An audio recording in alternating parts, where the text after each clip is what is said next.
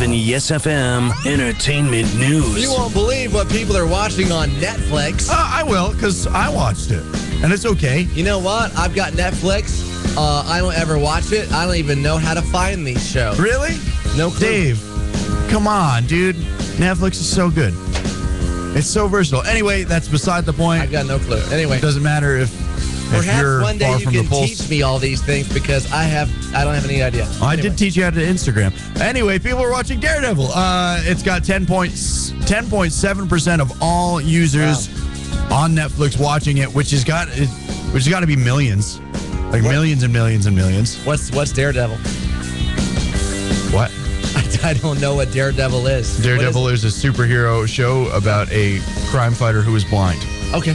And he uses his other heightened senses Uh, to fight crime. to fight crime. Okay. Is And it- it's okay. Is this a live action or a Yeah, it's, cartoon? it's a live action. Okay. Uh, they first did Daredevil with Ben Affleck uh, back in the early 2000s, and Oh. it was garbage. It was really bad. Even uh, even as a kid, I knew that. But now Okay. I watched the pilot. It's okay. all right. Yeah, that's it.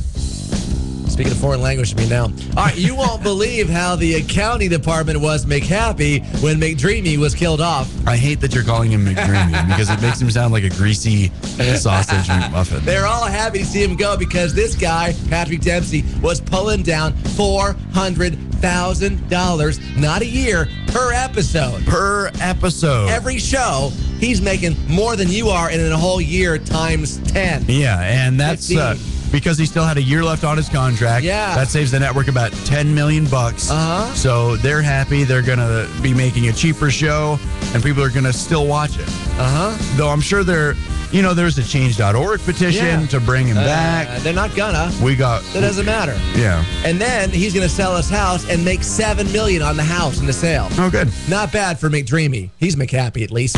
Some things are better seen than heard.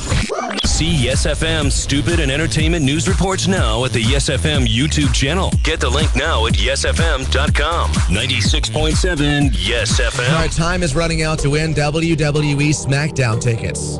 Info, how to win, coming up next. Here's Tove Lo. Yes, FM.